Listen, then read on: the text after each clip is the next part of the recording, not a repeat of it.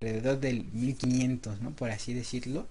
Eh, los Tenec eh, fueron, fueron a, tuvieron una ocupación también constante, ¿no? Este, su época también de esplendor también se, sucedió en el periodo eh, clásico, ¿no?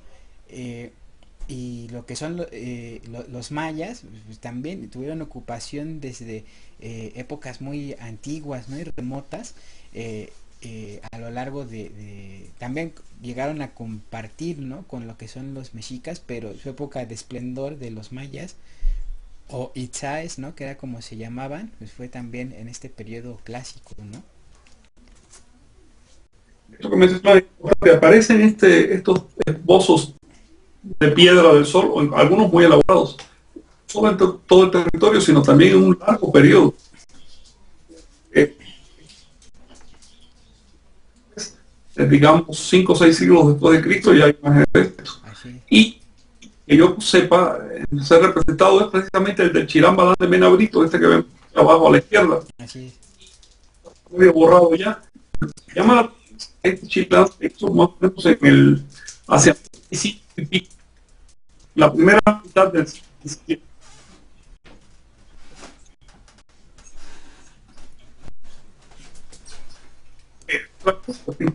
Eso es en un códice maya no tenía el modelo mexica para verlo. Es decir, se trataba de una tradición que se conservaba todavía. Luego debió haber modelos eh, funcionales en aquella época que, ahora se han perdido, ¿no? Ajá, sí, Frank, ¿nos podrías comentar este, de nuevo la, época histórica? Porque hubo una, una, este, una falla se perdió el audio mientras me estabas comentando de la, este, las fechas estos diseños no solo aparecen en todo el territorio mesoamericano, huastecas, mayas, eh, nahuas, este, zapotecas, sino también por lo menos desde el periodo clásico que son eh, siglos después de Cristo y hasta la época colonial, fue el último hecho en época colonial, primera mitad del siglo XVII, y hablan de una larga tradición, eh, y hablan también de la coherencia de las ideas cosmogónicas en Anahuac. Estos diseños son cosmogramas, son seños de cómo ellos concebían la existencia del cosmos. Este, estos, por ejemplo, que estamos viendo ahora son muy esquemáticos, e incluso abstractos, y eh, te están produciendo esa propuesta a su mínima expresión, que es un centro irradiador y un borde que contiene ciclos. Es decir, el centro irradia y la periferia eh, se estructura en forma de ciclos. Esta es la base de la visión Ajá, sí, muchas gracias, Frank. Y ahora sí ya este, captamos completamente el mensaje. Nos preguntan que si la, eh, la imagen de la derecha este, es, es un engrane de ciclos de tiempo o si eh, tiene relación con Venus por el simbolismo. Este, ándale en esa. Este, sí, exactamente. Es una radiación. Por supuesto, como el signo de Venus es la radiación también. Entonces se empata desde el punto de vista Sí. más de una fuente, por lo tanto hay unidad de la unidad, no de la dualidad. Esto es muy importante tenerlo en cuenta. Esta idea mesoamericana, Anahuac, no había un Dios y un diablo, no había un bien y un mal, ni mucho menos. Eso son ideas cristianas. Esta idea es parte de la fundamental. Y esa se expresa mediante un punto en el centro y se enfatiza todavía más porque ese punto para radiaciones para todos a vez. No dividen el mundo en dos, sino para En la pues hay ciclos. Eso se puede aplicar pues, lo mismo a Venus que a cualquier planeta, que a la galaxia, que a un ciclo biológico, este, un biorritmo, que algo sea un ciclo, a las estaciones, etc. La idea es mostrar, bueno, ya en las ciudades específicamente hay puntos, hay cantidades que nos van hablando de diferentes ciclos. Y de eso vamos a justamente. Les quiero mostrar un poco más más rico. Eh, aquí vemos por ejemplo ya hablando este vemos tres diseños más bien dos diseños de de este tipo de monumento tipo piedra del sol relacionados con fecha. En el monumento de la derecha este aquí les puse el esquema dibujado para que lo vean mejor. Tienes a una la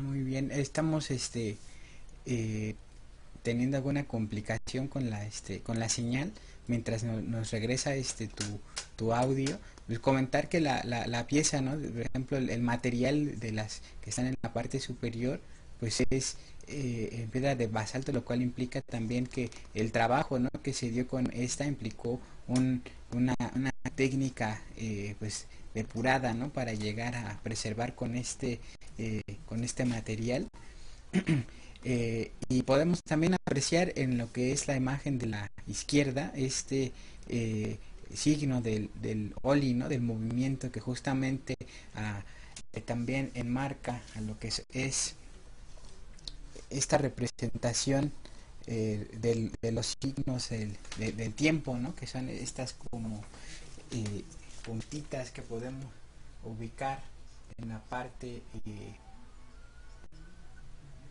en las partes centrales ¿no? del, mismo.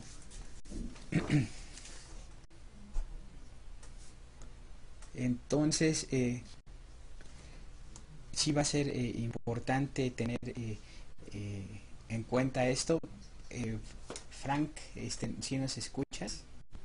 Yo sí te escucho bien, ¿tú me escuchas a mí? Ya te escuchas que se había perdido la señal. Este, nos comentabas al respecto ¿no? de, de, de estas tres piezas fue donde te quedaste. Eh, eh, sí. ¿Y cuál es el esquema? Sí, por favor. la derecha tiene el original y un esquema. Y ves ahí encima en el esquema se nota más claro un conejito con el número 6, que está relacionado con el glifo, o un glifo aislado significa año. Entonces estamos hablando de año 6 conejos. ¿Qué va? Esta pieza fue dedicada en un año específico, un año que se llamó 6 conejos y si a juzgar por el estilo y demás, podemos saber incluso qué año exactamente fue de, de, la cuenta cristiana, ¿no? Y en la cuenta de la pieza del lado vemos más todavía.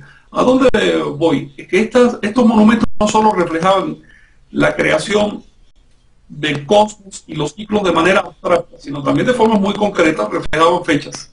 En el monumento grande que hay aquí, como bien dice, está hecho en basalto y es muy difícil trabajar este material. Es una piedra muy pesada. Eh, vemos cinco fechas.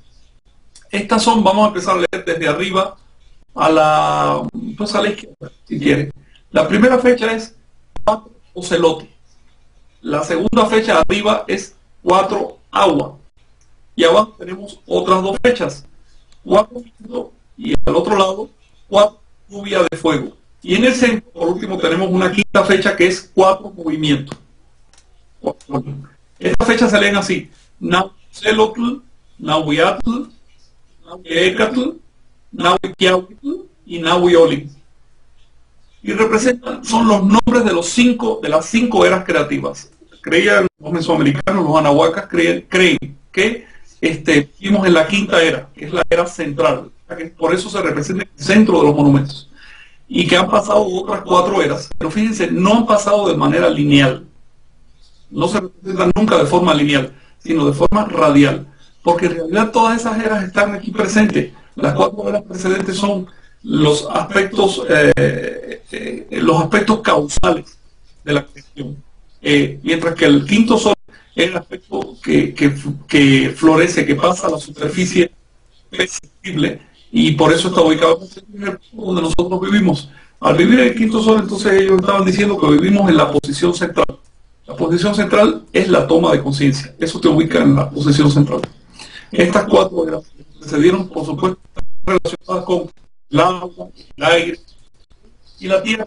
Los celotes están relacionados con la tierra, la el lluvia de fuego es fuego, por supuesto. Ejecra quiere decir viento o aire. Y ya quiere decir agua.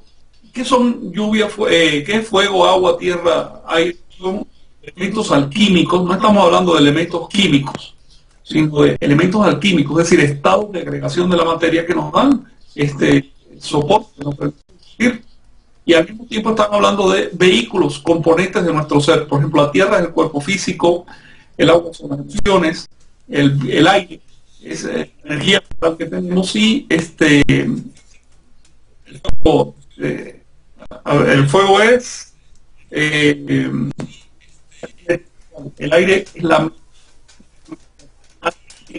esto es un simbólico mesoamericano. el agua es el como les decía, y el ocelote es la tierra. Entonces... Sí, Frank, ¿nos podías este, repetir esto último para este, tenerlo claro? Porque se entrecortó otra vez el sonido. Les decía que estos cuatro soles que nos precedieron tienen diferentes lecturas. En una lectura son los cuatro estados de agregación de la materia, de la. El estado sólido, líquido, gaseoso y plástico. Estos estados habían sido observados por los antiguos, no solo en, la Tierra, y los representaron a través de, por supuesto, del aire, el agua y el fuego, y a eso se le llama elementos alquímicos. No hay que pensar que se trata de química eh, ingenua, porque no es química, es otra, otra lectura. y estos elementos también, estos cuatro soles precedentes, representan nuestros componentes. Como seres humanos estamos compuestos de un cuerpo que es la Tierra, una energía vital que es el fuego, una mente que es el aire y unas emociones que son el agua. Y eso, si se analiza adecuadamente, produce una quinta manifestación que está representada con el símbolo de Olin o movimiento y es el símbolo, como tú bien sabes, Vicente, de Cholo. Olin, Cholo, el perro guardián del inframundo, el Nahual. Así es, con este elemento de torsión, ¿no? Que indica justamente este eh, movimiento la característica del nahual es movimiento. La fluidez, ¿no? Y la es forma específica. Si algo tiene forma propia y la mantiene, eso se considera tonal. Pero si algo no tiene forma propia, eso se considera nahual. Bien, está muy interesante. Y nos eh, eh, preguntan también que si estos, estos discos eh, también tienen las dimensiones de la piedra del sol. Algunos son grandes, no tan como la piedra del sol, hasta donde yo sé. Bueno, los, las piedras gladiatorias que vimos al principio sí, son grandotes y quizás hasta más pesados que la este, y otros son pequeños, algunos son relieves, otros son dibujos. Lo y se trataba de un esquema que aparecía, con ese esquema le enseñaban a, los niños, por ejemplo, en las escuelas, el universo, lo que pasó en la era, eh, por ejemplo, que si en el sol de viento este, vivían monos y, no pudieron pasar ciertas pruebas, por eso fueron condenados a, vivir en el monte y así, eran que ordenaban eh, la cosmovisión y que tenían también valores, este, por ejemplo, la idea de que nos han presentado varios o varias eras larguísimas, porque fechas que dejaron escritas los mayas sabemos que ellos les otorgaban millones y millones de años a esas eras es mucho más científica que la idea de que todo crea día una realidad eh, parte mágica, ¿no? Entonces, yo insisto en este detalle porque se atacan mucho las doctrinas eh, indoamericanas como si fueran cuestiones primitivas y la verdad yo no lo, comparativamente con las cristianas yo no las veo primitivas.